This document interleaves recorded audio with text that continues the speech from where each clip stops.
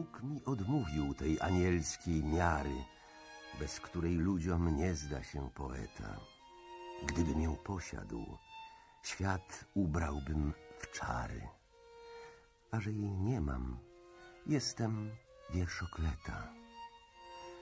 Ach, w sercu moim są niebiańskie dźwięki, lecz nim ust dojdą, łamią się na dwoje. Ludzie usłyszą tylko twarde szczęki. Ja dniem i nocą słyszę serce moje. Ono tak bije na krwi mojej falach, jak gwiazda brzmiąca na wirach błękitu. Ludzie nie słyszą jej w godowych salach, choć ją Bóg słyszy od zmroku do świtu.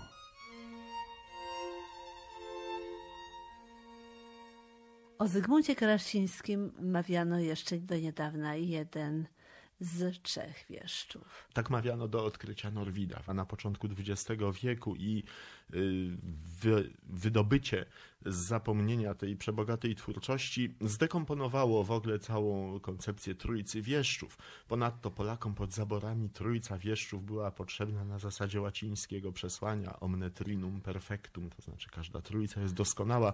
To była taka gwarancja duchowego ładu trwania narodu w sytuacji, gdy ten naród był pozbawiony swojej państwowości, własnych instytucji i innych środków artykulacji. Chociaż został więc Zygmunt Krasiński zdegradowany z tego stanowiska wieszcza, to jednak dziwnym trafem wciąż trwa i wciąż jest obecny w pamięci społecznej nie tylko jako autor genialnego arcydzieła nieboskiej komedii, ale także jako największy epistolograf epoki polskiego romantyzmu. Autor wspaniałego zupełnie bloku miłosnych listów, ale także pełnych takiego niepokoju społecznego i moralnego listów do Delfiny Potockiej, które zmarły niedawno profesor Jan Kot nazwał największą powieścią polskiego romantyzmu. I wreszcie Zygmunt Krasiński jako myśliciel. To jest taka warstwa jego aktywności, która może nie jest specjalnie społecznie popularna czy bardzo powszechnie znana, ale niewątpliwie bardzo ważna i gwarantująca temu poecie, temu twórcy, temu filozofowi jedno z naczelnych miejsc w dziejach polskiej myśli politycznej, społecznej, estetycznej. Jaka więc była biografia Zygmunta Krasińskiego? W każdym calu zupełnie różna od biografii wielkich romantyków. Po pierwsze, Zygmunt Krasiński urodził się w rodzinie arystokratycznej i nigdy nie doświadczył jakichś takich trosk materialnych. Pochodził z jednego z najbogatszych rodów arystokratycznych w Polsce XIX wieku. Urodził się w roku 1812 w Paryżu. Dlatego w Paryżu, że ojciec Zygmunta był generałem w służbie napoleońskiej i dowódcą elitarnej formacji wojska polskiego, mianowicie pierwszego pułku szwoleżerów gwardii, a więc pułku gwardyjskiego, jakby przypisanego do ochrony osoby cesarskiej. Per prokura ojcem chrzestnym Krasińskiego był sam cesarz Napoleon. Krasiński jako dwulatek został mianowany już adiutantem króla Rzymu, czyli Orlątka, czyli syna Napoleona. I, że tak powiem, ta atmosfera maskarady, która zaczęła się już w epoce napoleońskiej, trwała właściwie później w latach Królestwa Polskiego, dlatego że po klęsce Napoleona i po śmierci księcia Józefa Poniatowskiego, to ojciec Zygmunta, generał Wincenty, stał się właściwie jedynym żyjącym bohaterem wojen napoleońskich. I to on przyprowadził te smętne resztki armii księstwa warszawskiego z Francji na ziemię polskie. Wiwatowano na jego cześć, był na ustach wszystkich, był powszechnie akceptowanym generałem. Ale Zwolnienie Polaków z przysięgi na wierność Napoleonowi i przyjęcie od Polaków przysięgi na wierność nowemu władcy, a więc carowi Aleksandrowi I, przyjęte przez całe to pokolenie bez jakichś skrupułów moralnych czy zarzutów, dla Wincentego Krasińskiego, ojca Zygmunta, miało dość duże konsekwencje, ponieważ generał Wincenty nie rozumiał, że w epoce obudzonych narodowości i w epoce rozbudzonych aspiracji narodowo-wyzwoleńczych wyrasta jakby wobec człowieka nowy suweren, stokroć silniejszy od dawnego suwerena feudalnego, że przysięga złożona carowi nie może być wiążąca w sytuacji, kiedy ten car działa na szkodę narodu polskiego. A generał Wincenty tego zrozumieć nie mógł albo też i nie chciał. I Okres Królestwa Kongresowego pomiędzy rokiem 1815 a wybuchem Powstania Listopadowego to jest okres narastającego rozbratu pomiędzy generałem Wincentym a społeczeństwem. I teraz jak w tym wszystkim jest usytuowany Zygmunt Krasiński? Pamiętajmy, że był jedynakiem. Był piątym ale pierwszym szczęśliwie urodzonym dzieckiem tego małżeństwa. Wszystkie wcześniejsze ciąże Urszuli z Radziwiłłów Krasińskiej, czyli matki poety, kończyły się poronieniem. Natomiast oczywiście w takim rodzie arystokratycznym potrzebny był potomek i to najlepiej potomek płci męskiej, sukcesor właśnie tego majątku, imienia, tradycji, nazwiska itd. Tak I Zygmunt Krasiński, który notabene jako pierwsze imię chrzestne miał Napoleon, a Zygmunt było imieniem piątym i dopiero w epoce Królestwa Kongresowego przewrócono tę kolejność pięciu imion, bo tyle imion nadawano arystokratycznym potomkom i imię ostatnie awansowało na imię pierwsze. Więc Zygmunt Krasiński był jedynakiem. Do tego był jedynakiem pozbawionym matczynej opieki, ponieważ kiedy miał lat kilkanaście Urszula z Radziwiłłów-Krasińska zmarła. A generał Wincenty drugi raz się nie ożenił. Poświęcił się całkowicie wychowaniu jedynaka i było to wychowanie po prostu drakońskie. Dlatego, że generał chciał, żeby jedynak spełniał wszystkie jego życiowe aspiracje.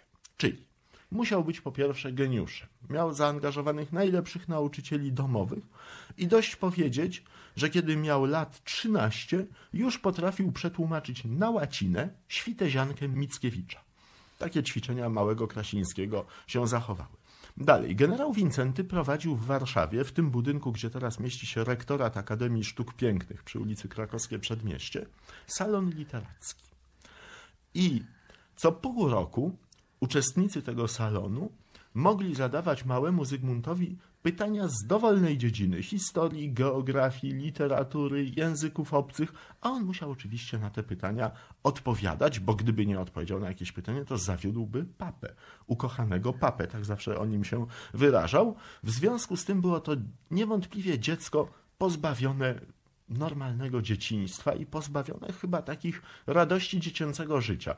Odzwierciedleniem tego jest prozatorski wstęp do drugiej części nieboskiej komedii, kiedy Krasiński pisząc o Orciu, czyli o Jerzym, synu hrabiego Henryka, portretuje właściwie własne dzieciństwo. I w tymże dzieciństwie rozpalona została też już wyobraźnia literacka, wrażliwość artystyczna Krasińskiego. Dlatego, że życie literackie Warszawy przed powstaniem listopadowym koncentrowało się w salonach.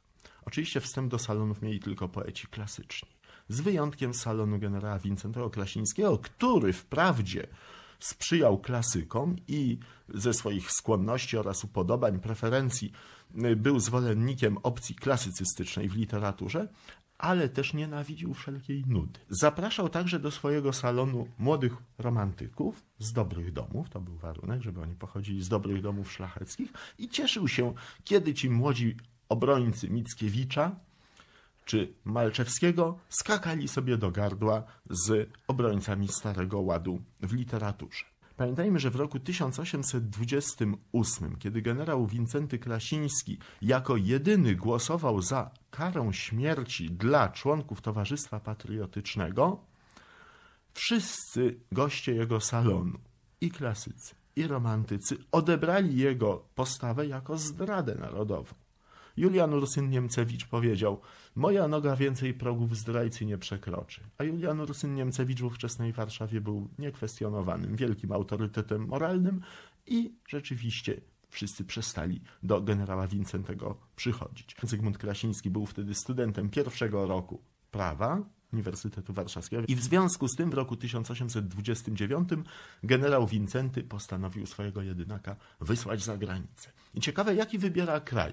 Właśnie nie Francję na przykład, ani nie Austrię, czyli kraje, monarchie, które jego zdaniem były zagrożone rewolucją. Chciał go wysłać do kraju spokojnego i wysłał go do Szwajcarii. Która była już republiką, więc generał Wincenty słusznie przewidywał, że w Szwajcarii żadnych zamieszek ani żadnej rewolucji nie będzie. I w roku 1829 rozpoczyna się tak zwany genewski okres życia Zygmunta Krasińskiego. Głównie mieszkał właśnie w Genewie, robił wycieczki alpejskie, yy, także był dwukrotnie wtedy w Rzymie. Pogłębiał swoją wiedzę, korzystając z biblioteki Uniwersytetu Genewskiego. Dużo pisał, pisał już zresztą w okresie warszawskim, y, publikował swoje utwory, ale anonimowo. Pamiętajmy, że on za swojego życia nie opublikował ani jednego utworu pod swoim nazwiskiem, tylko zawsze to były teksty albo anonimowe, jak Nieboska Komedia Irydion, albo napisane pod pseudonimem, jak Psalmy Przyszłości, Spirydion Prawdzicki, albo też opublikowane pod wypożyczonymi nazwiskami przyjaciół. Na przykład Przedświt ukazał się pod nazwiskiem Konstantego Gaszyńskiego, ale oczywiście wrażliwi czytelnicy z emigracji ani przez moment nie myśleli, żeby taką rzecz mógł napisać autor humoresek Konstanty Gaszyński.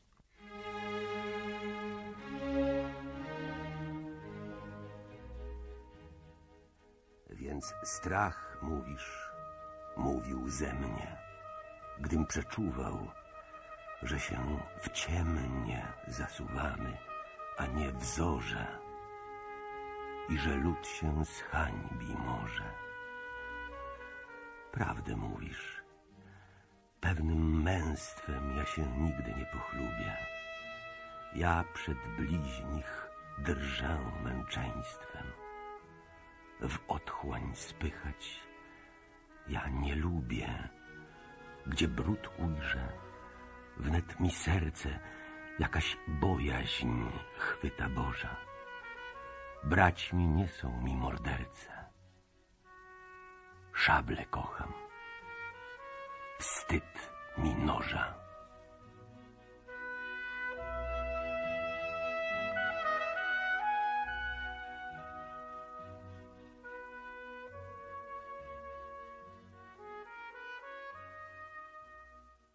zaczyna się tak zwany okres emigracyjny Zygmunta Krasińskiego. Okres, który jakby powoduje, że następuje kolejne nieporozumienie, bo Adam Mickiewicz był emigrantem, Juliusz Słowacki był emigrantem, Cyprian Norwid był emigrantem, Zygmunt Krasiński emigrantem nigdy nie był. I wprawdzie całe prawie swoje życie spędził za granicą. Urodził się w Paryżu, dzieciństwo, młodość wczesną spędził na ziemiach polskich. Później od tego 29 roku, a więc odkąd miał 17 lat, prawie cały czas aż do śmierci, bo zmarł także w Paryżu w roku 1859, przebywał za granicą, ale emigrantem nigdy nie był. Co kilka lat kończyła się ważność jego paszportu jako obywatela Królestwa Kongresowego. Musiał wtedy wrócić na ziemię polskie, tydzień, dwa lub nawet kilka miesięcy pomieszkać na ziemiach polskich, odnawiał ważność paszportu i znowu wyjeżdżał. Notabene może trzeba powiedzieć, że demokratyczna opinia Królestwa Polskiego miała mu to za złe bo wiadomo że on wywoził z Polski także kapitały, które wedle demokratów mogłyby posłużyć jakoś, jeśli nie gospodarczemu rozwojowi kraju, to sprawie narodowej.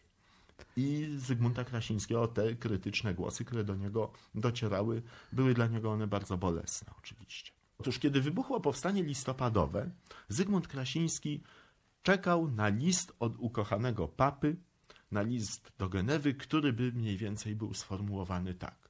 Najdroższy synu, godzina wolności wybiła, wracaj tutaj, szablą ojców twoich, bij się za ich cześć i potęgę i tak dalej. I oczywiście nie musimy mieć wielkiej domyślności, żeby wiedzieć, że taki list nigdy nie nadszedł. Zygmunt Krasiński nie wiedział, że jego ojciec w noc listopadową o mało nie uniknął linczu wybroniony przed tłumem warszawskim przez Maurycego Mochnackiego. I Zygmunt Krasiński też nie wiedział, że jego ukochany papa, generał napoleoński w chłopskim przebraniu uciekał z ziem polskich do Petersburga, żeby się tam oddać pod protekcję carską. Zygmunt Krasiński wiedział tylko później, że ojciec zabronił mu przybyć do Polski w chwili, kiedy cały naród tutaj walczył o swoją suwerenność i nie mógł tego ojcu wybaczyć. Ten list skłaniający do powrotu do Polski nadszedł dopiero latem 1832 roku, czyli rok prawie po upadku powstania.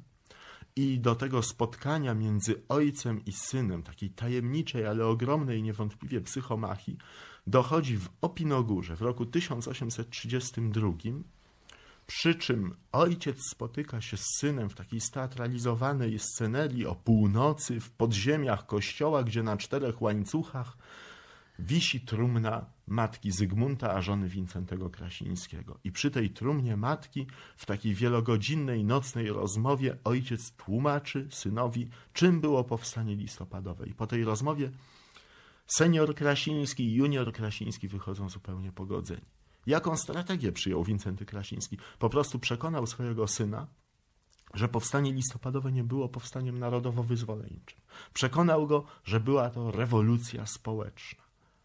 I później obaj panowie Krasińscy jadą do Petersburga, gdzie generał Wincenty już wcześniej obmyślił z carem karierę dla swojego syna, mianowicie służbę dyplomatyczną carską. I tutaj Zygmunt Krasiński, który zawsze przez całe swoje życie, muszę tak po tej biografii trochę skakać, ulegał woli ojca. W takiej sytuacji zdominowania można by powiedzieć, no powinna naturalnie zadziałać biologia. No ojcowie na ogół umierają wcześniej niż synowie i ta śmierć jest wyzwoleniem. I tak się tutaj rzeczywiście stało. Tylko, że generał Wincenty umarł w listopadzie 1858 roku, a Zygmunt Krasiński w lutym 1859. Przeżył swojego ojca o trzy miesiące. Sam już był przykuty wtedy w Paryżu do łóżka, nie pisał niczego, sam tylko dyktował i ostatnim właściwie dziełem, które ledwie rozpoczął, był żywot i sprawy generała Wincentego Krasińskiego. Tak więc to uwiązanie trwało przez całe życie i z tego uwiązania Zygmunt Krasiński wyzwolił się jeden, jedyny raz właśnie w Petersburgu zimą 1832 na 33 rok, kiedy wyraźnie powiedział nie na owe projekty wstąpienia do służby cesarskiej. I nastąpiła wtedy sytuacja niezwykle kłopotliwa, ponieważ nie jest tak łatwo odmówić carowi. W związku z tym zrobiono ucieczkę w zły stan zdrowia i ucieczka ta była tym łatwiejsza, że rzeczywiście stan zdrowia tego 21-letniego młodego mężczyzny był katastrofalny. Mianowicie groziła mu ślepota. I wtedy wysłano go z Petersburga do Wiednia, gdzie funkcjonowała najlepsza w ówczesnej Europie klinika okulistyczna i gdzie objawy choroby Zygmunta, chodziło tutaj o odklejanie się siatkówki oka, leczono leżeniem w czarnym pokoju. Zaordynowano mu taką kurację, że on przez sześć tygodni musiał leżeć bez ruchu, czy prawie bez ruchu, w pokoju wybitym czarnym aksamitem, do, w pokoju pozbawionym okien, gdzie tylko były jakieś nawiewy powietrza, gdzie wszyscy wchodzili przez podwójne drzwi, żeby tam ani jeden promyk światła się nie dostał. I ta szatańska kuracja, w której, jak sądzę, zwykły, większość ludzi po prostu by może i ocaliła wzrok, ale postradała zmysły. W przypadku Zygmunta Krasińskiego zadziałała tak, że on po tych sześciu tygodniach wyszedł, wzrok miał ocalony, miał bardzo słaby. Do końca życia chodził w ciemnych okularach i pomieszczenia, gdzie przebywał, miały albo zamurowane do połowy okna, albo były zasłaniane grubymi storami. Ale on wyszedłszy z tego czarnego pokoju, usiadł i w ciągu trzech tygodni napisał nieboską komedię. Dramat, który po prostu leżąc w tym czarnym pokoju obmyślił do najmniejszego szczegółu.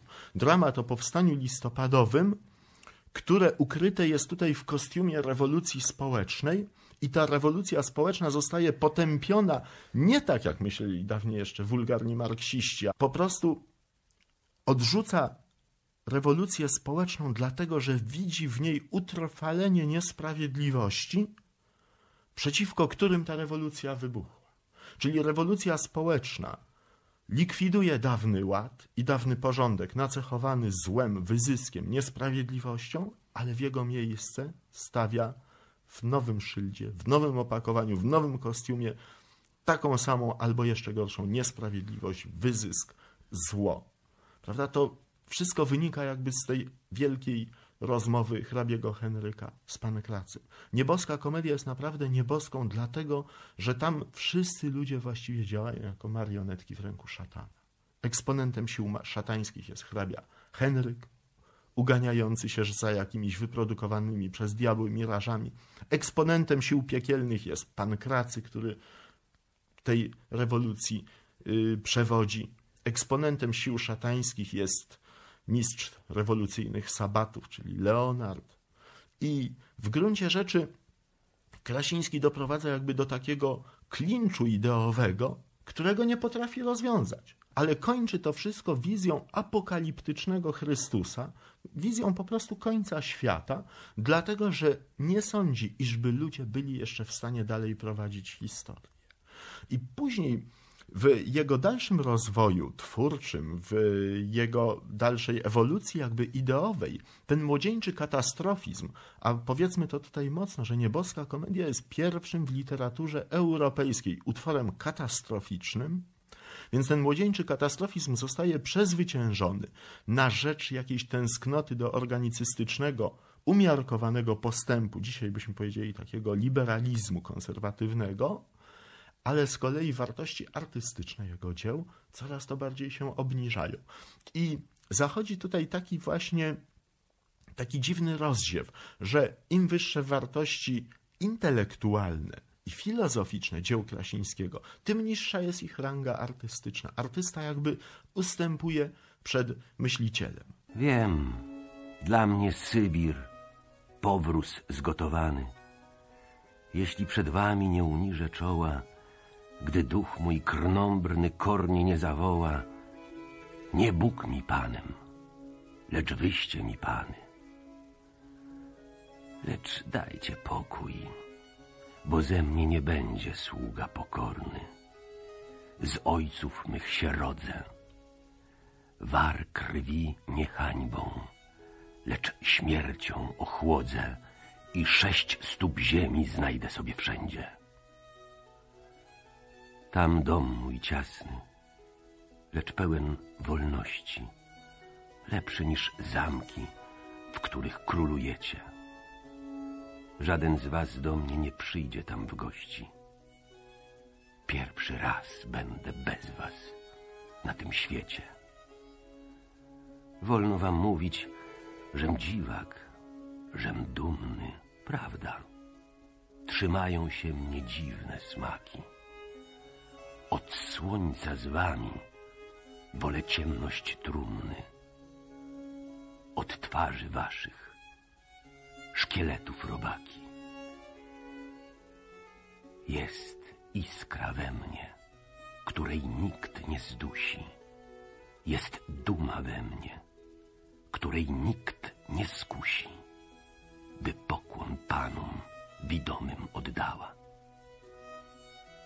Niech więc ginie, nietknięta i cała.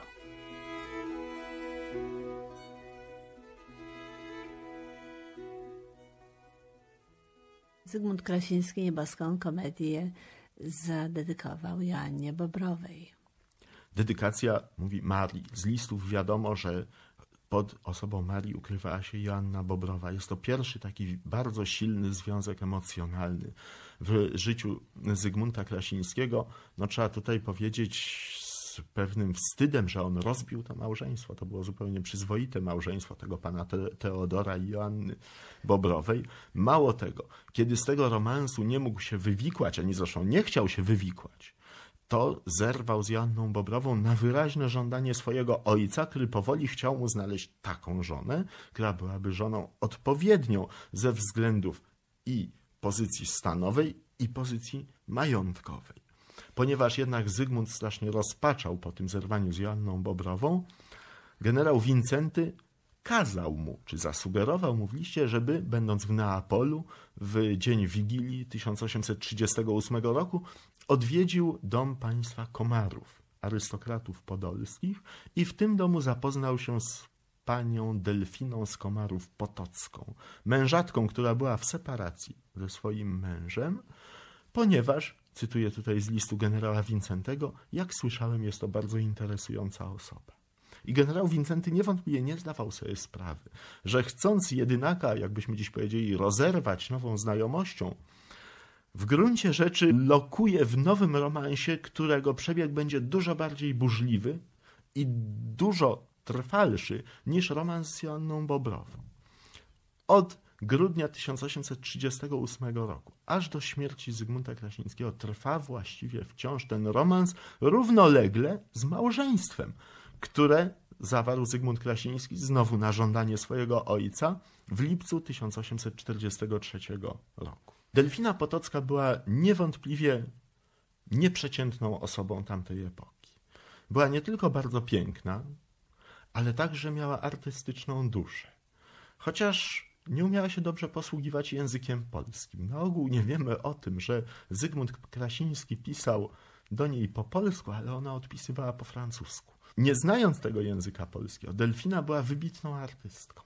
Ona była śpiewaczką, sopranistką i gdyby nie powiedzmy konwenanse tamtej epoki, to prawdopodobnie byłaby no, mega gwiazdą ówczesnych scen operowych, bo dość powiedzieć, że taki geniusz muzyczny jak Fryderyk Chopin na łożu śmierci prosił, żeby śpiewała dla niego pani Delfina Potocka właśnie. Jej głosu chciał słuchać. Kiedy on zmarł w roku 1859, Eliza Krasińska po roku, równo rok po śmierci męża, wyszła za mąż za Ludwika Krasińskiego, dalekiego krewnego, człowieka krańcowo różnego od Zygmunta, stąpającego twardo po ziemi, wybitnego europejskiego hodowcę koni, który to Ludwik Krasiński, te majątki Krasiński oparł na jakichś mądrych podstawach i, że tak powiem, one zaczęły być majątkami dochodowymi, bo odziedziczył, czy, czy wszedł jakby w stan majątków w ruinie zupełnej i w tym drugim małżeństwie ona odetchnęła. Ale wszyscy przyjaciele Zygmunta Krasińskiego uważali to za zdradę narodowej sprawy. Dlatego, że przecież wdowa po wieszczu powinna być relikwiarzem narodowych wartości. Tymczasem ona się stała Ludwikową, jak z zażenowaniem i rozpaczą wręcz pisali w swoich listach. Po nieboskiej komedii wrócił do wcześniejszego pomysłu dramaturgicznego, czyli do Irydiona. Jak słusznie to napisał kiedyś profesor Stefan Treugut, jest to rzymski dramat o polskim powstaniu. W historycznym kostiumie z III wieku naszej ery funkcjonują dylematy spiskowe Polaków, a więc taka problematyka, którą już eksploatował Mickiewicz w Konradzie Alenrodzie czy w wierszu do Matki Polki. I po Irydionie właściwie Zygmunt Krasiński już tą problematyką zemsty, konspirowania, tragizmu historii się nie zajmował, natomiast został mesjanistą. I w tym okresie właśnie powstaje przedświt, idealizacja Polski, następnie psalmy przyszłości, gdzie wyraża niesamowitą obawę o to, że rewolucja społeczna zaprzepaści sprawę narodową i później memoriały polityczne. Niedawno na szczęście wydane przez PIW w opracowaniu nieżyjącego już niestety Pawła Herca, Memoriały pisał po francusku i kierował do głównych aktorów sceny politycznej ówczesnej Europy. Twierdzi Krasiński, że jeśli Europa jest jakąś wartością, powiedzmy o micie śródziemnomorskim, prawda, powiedzmy o tym cywilizacyjnym dziedzictwie Cesarstwa Rzymskiego, to tym wysokim wartościom europejskim w XIX wieku zagrażają dwie potęgi. Pierwsza z tych potęg to jest Rosja carska, a drugą wartością, która się sprzysięgła na zgubę cywilizacji europejskiej, jest rewolucja społeczna, która chce to wszystko wywrócić po prostu. I teraz Krasiński przewidywał, że zachodnioeuropejscy rewolucjoniści, w tej liczbie polscy rewolucjoniści, prawda, z wielkiej emigracji, oraz najbardziej konserwatywny, najbardziej reakcyjny reżim carski, najwsteczniejszy despotyzm petersburski, podadzą sobie ręce na zgubę cywilizacji europejskiej. I w tym samym czasie, kiedy Karol Marx i Fryderyk Engels sądzili, że rewolucja wybuchnie w krajach najbardziej uprzemysłowionych, to Krasiński mówił nie, rewolucja wybuchnie w Rosji. Zygmunt Krasiński cierpiał na bardzo wiele chorób. Przede wszystkim choroba oczu, ale choroba ta, tak samo jak jego podejrzenia, że ma jakiegoś pasożyta w żołądku, pisał nawet wiersz o swoim soliterze, jak i jakieś y, wrzody, które się pojawiały. To wszystko było na tle choroby nadciśnieniowej. Tak naprawdę on był po prostu chory na nadciśnienie. Natomiast w XIX wieku była jedna wielka moda terapeutyczna hydroterapii. Czyli na wszystko jest najlepsze picie wody.